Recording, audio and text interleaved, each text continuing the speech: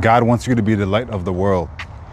He, this this world is so full of darkness. He, he wants his children in every place, in every city, wherever you're at. He wants you to be a light and an example uh, as his child, as his son, as his daughter in the place where you're at, in the place where you're located. Because we can it's easy for us to look to other people and say and wait on other people to do something. But God, He wants us as His children to be an example in the place where we are, in the place where you are. An example. What is what is being an example of Christ? An example is by your fruit and your character. So many people go by the fruit. Somebody, so many people go by the gifts. It's not about the gifts. It's all about. It's about your character and the fruit and the, and your attitudes and your motives and the way you act. That's being a Christian. This is what really being a Christian is. This is what it's really all about. One second.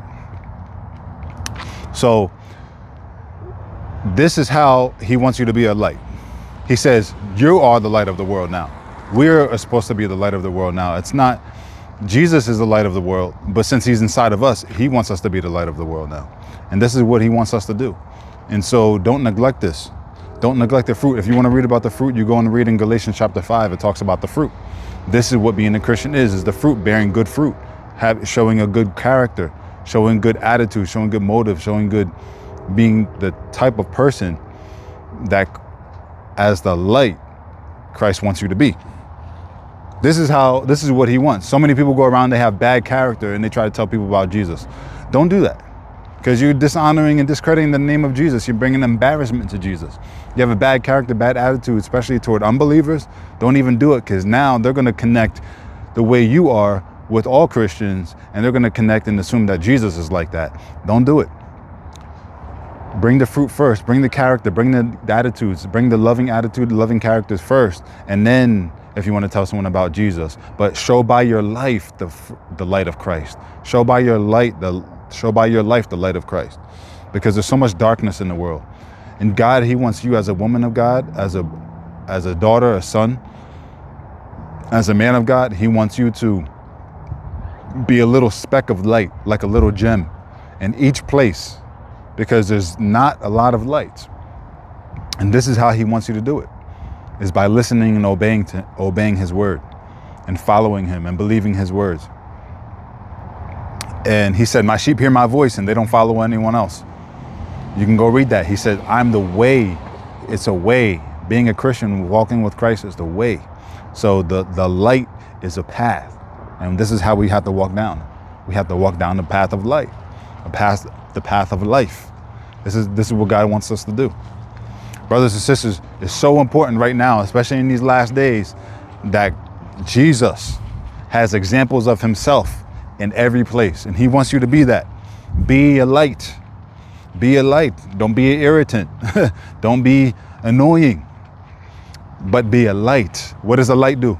The fire, when it's on, what happens? It automatically brings light to the darkness what happens? It, the fire, the flame from a fire doesn't say need to say, "Look, I'm a fire." Uh, you don't need to. You don't. You shouldn't. You shouldn't have to go around saying, "Look, I'm a Christian. I'm a Christian." You tell people when you get a chance, when God opens a door, or something like that, without trying to thrust it down, you know, and trying to force it on people.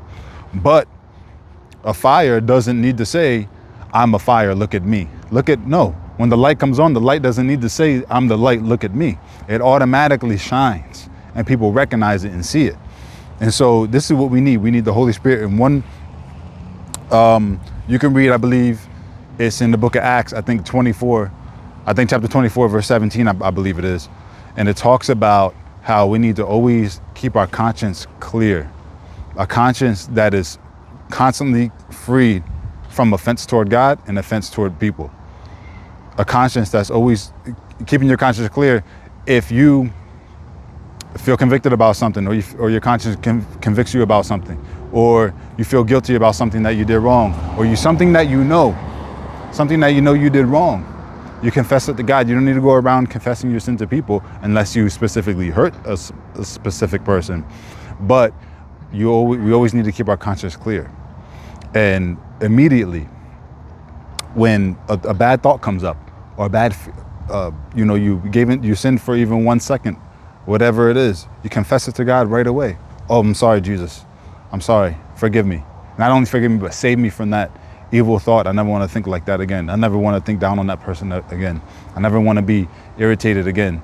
I never, we can have, see, a lot of people don't know, a lot of Christians don't know, but we could be free from bad moods. It's actually possible to have joy every single day.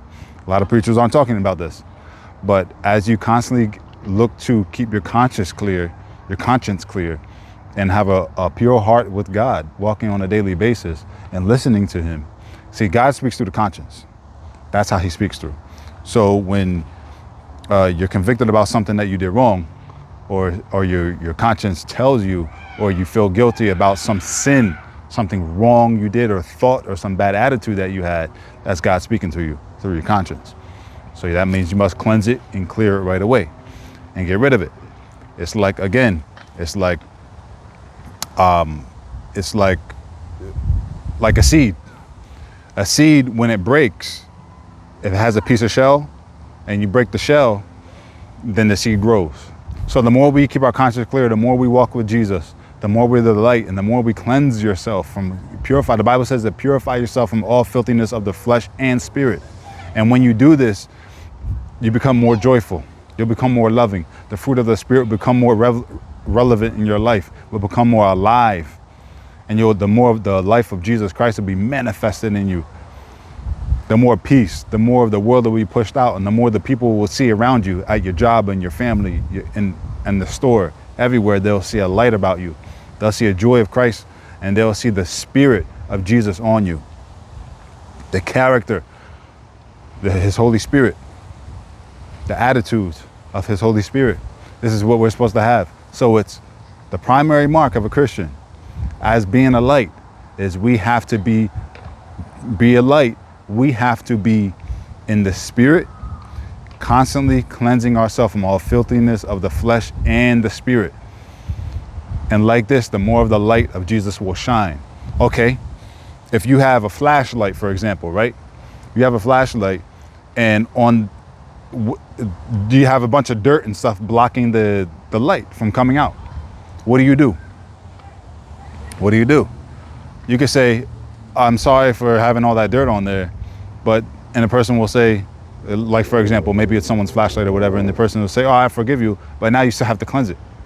And that you still have to um, remove it, okay? So the more dirt you remove from the lens of the flashlight, the more light will come out, you see? So the more dirt and the more filthiness we constantly cleanse from our spirit, and that's that means you also have to sacrifice what you watch. Be careful what you watch. Don't put everything before your eyes, things that are wrong. If your conscience and God is telling you in your heart, no, you shouldn't be watching that. Don't watch that. That's not good for you. Don't listen to that music. Don't look at that video.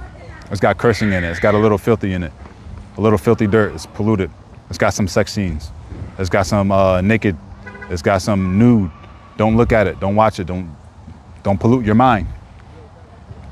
When you listen to him, you'll constantly be cleansing yourself from your spirit cleansing yourself in your spirit from all the filthiness of the flesh and spirit. And like this, you keep going and more and more and more the light of your life will shine brighter and brighter and brighter. It talks about that in Proverbs.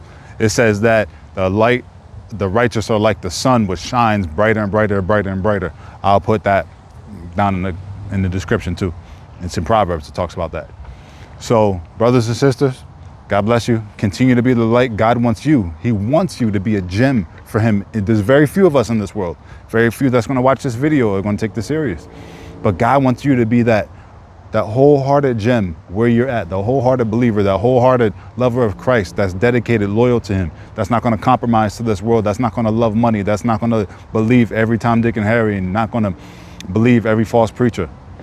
And that wants to seek him and his righteousness and wants his name and his his name and his honor to be his name to be glorified and honor to go to him and him for him to take all the credit.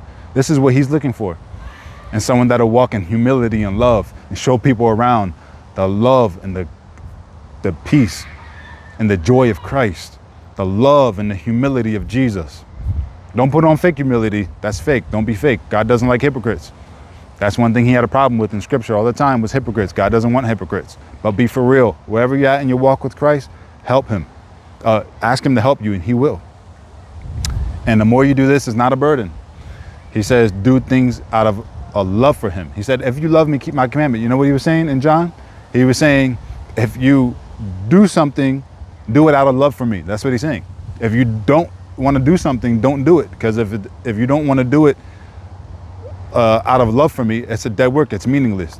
Just like in Corinthians, it talks about how you must give cheerfully. God wants us to give cheerfully. He wants to give our time cheerfully. He wants to give everything cheerfully, money cheerfully, everything cheerfully, out of a heart, not of grudgingly or, or compulsion, but cheerfully, out of, out of a love for Him. So be a light where you're at. It's very important now in these times that we're living in. It's so, so important that he, you're a light. He needs this. God needs you to be a light. He wants you to be a light. You be open and listen to him and constantly, if, if you're convicted about something, deal with it right away pay back the things that um, you know uh, ask people for forgiveness that you need to and uh, settle things time is so short time is so short he needs you to be a light he wants you to be a special light in the place that you're at because there's very few of us. So people can see jesus christ. So people can see that there's a that jesus is alive and he's for real and that he exists and that he can be in a person. In jesus name god bless